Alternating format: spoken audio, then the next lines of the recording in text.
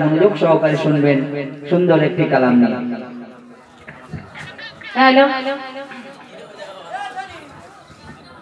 এবার যে গজল আমি আপনাদের সামনে পরিবেশন করব। এখনকার জামানায় দেখবেন অনেক মানুষ আছেন যারা তার বাবা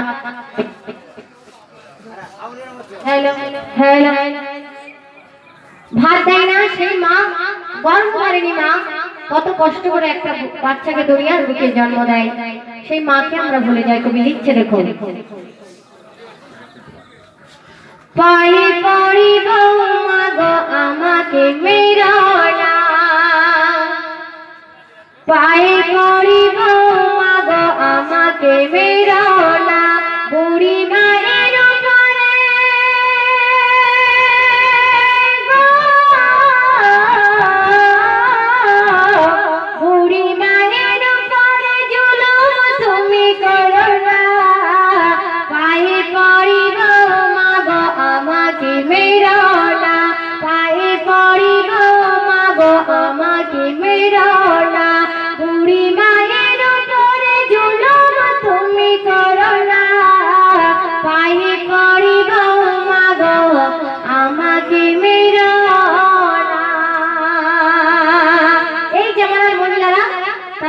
বলে কোনোদিন মা বলে ডাকে না।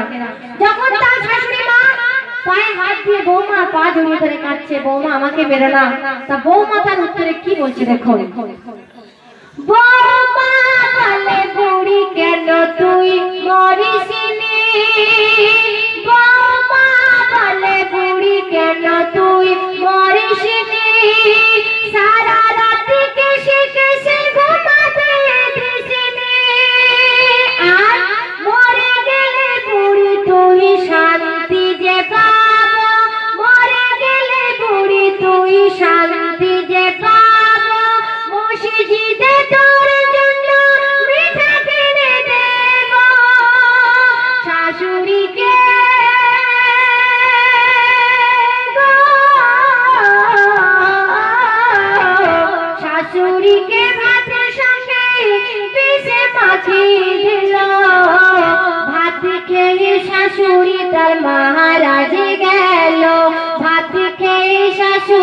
তার মহারাজে গেল। মায়ের তুমি করো না।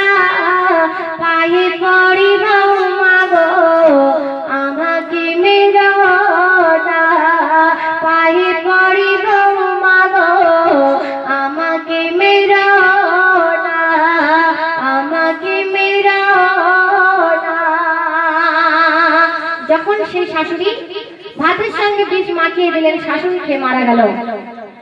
তারপরে কিছুক্ষণ পরে তার ছেলে বাড়িতে ফিরলেন। যতই হোক মা, সন্তান বইয়ের কথা যতই শুনুক না কেন, তবু তার অন্তরে একটু মায়া লাগে যে আমার মা জননী।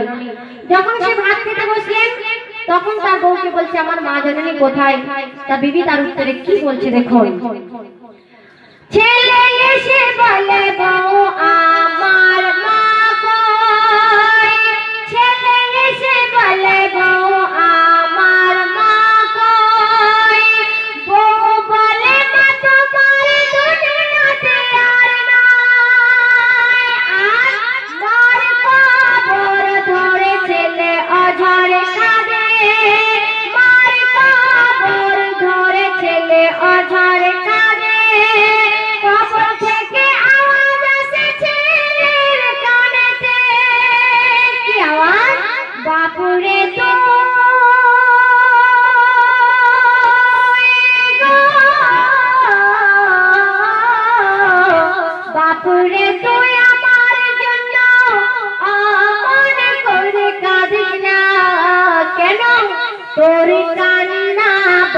সহিতে যে পারি না, তোর কান্না বাপ সহিতে যে পারি না।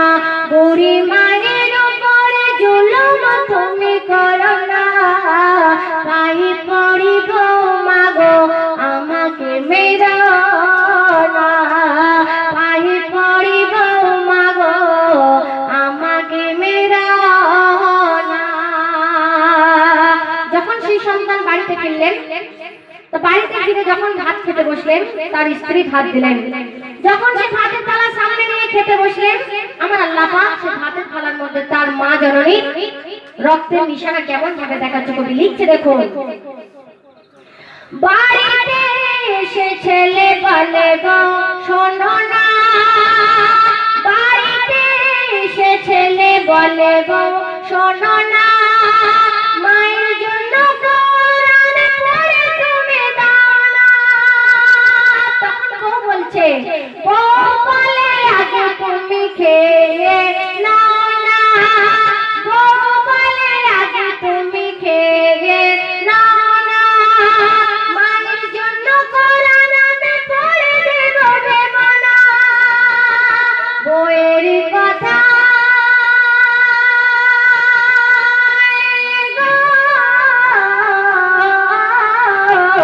বইয়ের কথা শুনে স্বামী খেতে বসে, দেখো না।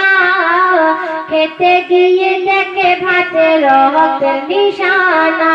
খেতে গিয়ে দেখে ভাতে রহতের নিশানা। বুড়ি মায়ের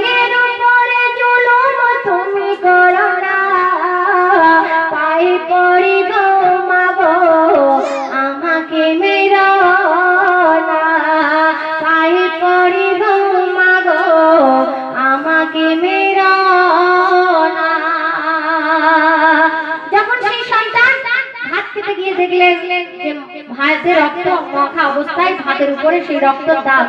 তখন তার বিবিকে দেখে কি বলছে দেখুন? রক্ত দেখে ছেলে হতাশা হয়ে যায়।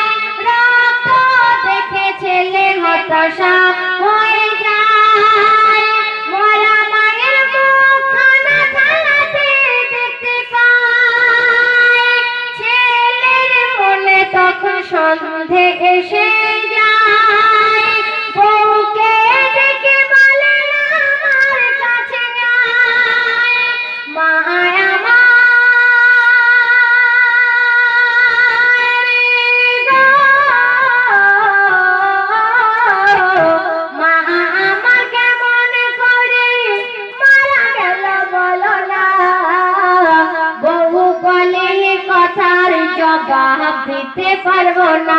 বহু বলে কথার জবাব দিতে পারব না।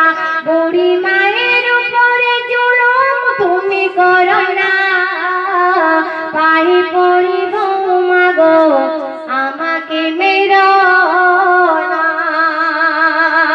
যখন এই কথা বললেন, তখন তার স্বামী মনে বুঝে নিলেন যে, এই বউ হয়তো আমার মাকে ফোন করেছে, কোনো ভুল নেই।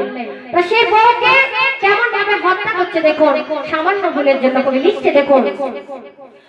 বইয়ের কথা শুনে স্বামী বুঝে নিল তখনই।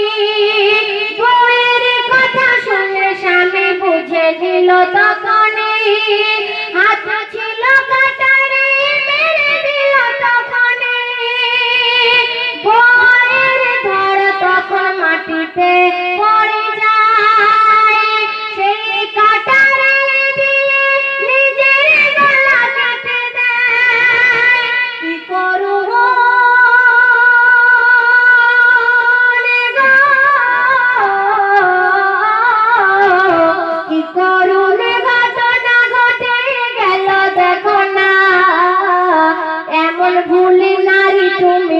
কখনো করো না। এমন ভুলি নারী তুমি কখনো করো না। বুড়ি মায়ের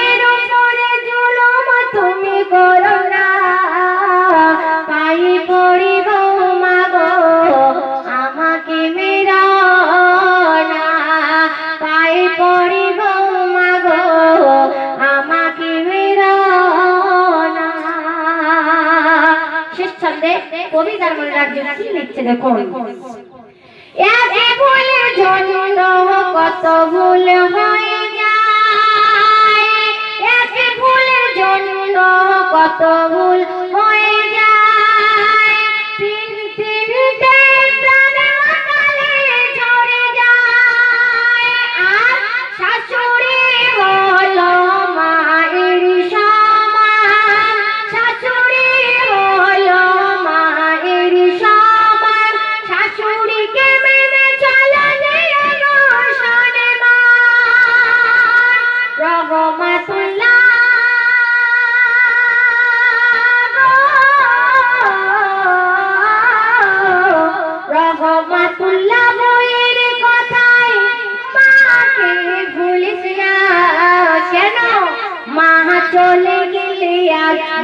খুঁজে পাবে না।